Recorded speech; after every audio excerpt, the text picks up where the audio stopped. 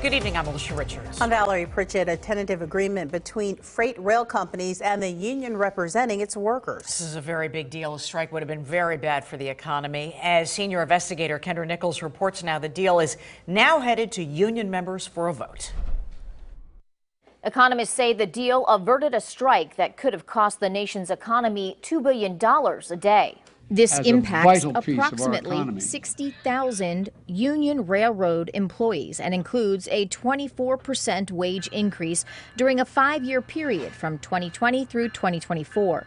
It also grants workers the ability to take unpaid time off for medical and preventative care without penalty, a key sticking point of the negotiations. Today, President Biden thanking negotiators, saying the tentative deal is a big win for America. This is a win for tens of thousands of rail workers and for their dignity and the dignity of their work. It's a recognition of that. Every good that you need seems to end up on a rail getting delivered to where it needs to go. Amtrak, which canceled some trains ahead of the potential strike, is now quickly working to restore those trains and said it is reaching out to impacted customers. The deal now goes to union members for a vote. With the ABC 27 investigators, I'm Kendra Nichols.